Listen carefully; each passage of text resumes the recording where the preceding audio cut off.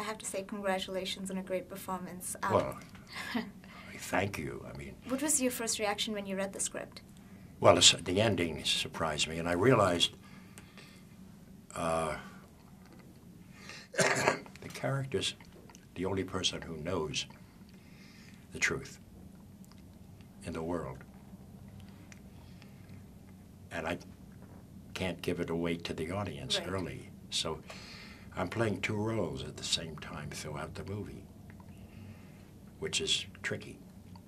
I mean, more tricky than you know or, or can imagine because I'm playing it. I don't want the audience to know what I know early in the movie, but I do let it out a little bit here and there as the picture goes on. But not enough for them to understand it until they understand it at the end. That I actually know something that no one else in the world knows. So that's an interesting character for me. Is that what captured your interest the character? Well, Adam, working with Adam, working with Chris, working with the other actors, I mean, uh, I, uh, it, it was a chance to have fun. I can't say it any other way. I love complication. I love, I mean, I've turned Scorsese down because I said, you know, I could do that. I, I don't want to spend that much time. And I've done, you know, other things that are less good instead of that. But uh, when I say I turned, there was no role, there was no arc, there was no, you know, it's like playing, spending a lot of time on something that's. I recommended actors to him, actually. You know, Sharon Stone did Casino, and I had just finished working with her, and he asked me about her, and I loved her.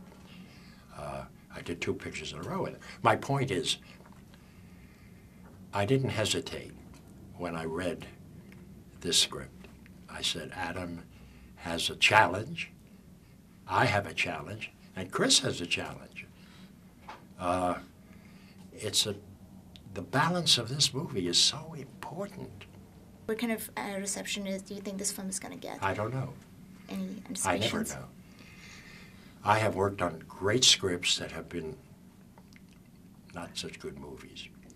And I've worked on movies that I cringed when I first read them and said, let's, how do we make this better? That turned out great. Right. So I hope it's a movie, I hope it resonates in the way that I want it to. One of the journalists in Toronto said, when he saw it with a lot of press people, when the picture ended, no one left the theater. They all sat there quietly for like five minutes. There wasn't a sound in the theater. And they were all affected by the last line that I say, That you say in the film, which right? lets you know that the surprise that Shock. occurs is a shock. And I hope that would happen. Well, I don't know if it still will when we have more civilian audiences. I don't know. But that's what's exciting about what I do because it's putting together a bunch of stuff that makes a live performance out of it. It's, it's a thing that we shouldn't forget, you know. I mean,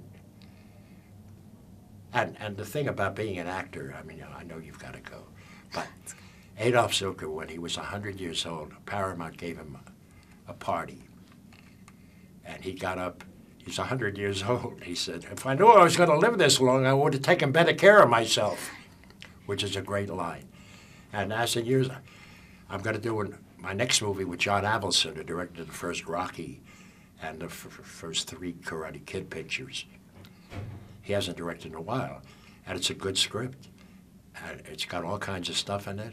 And I'm playing a concentration camp survivor. So I've grown into that space now. I'm old enough to do it. Looking forward to that one. Thank, Thank you so much, Martin, for chatting with You're with so us. lovely. And wishing you all the best. Thank you so much.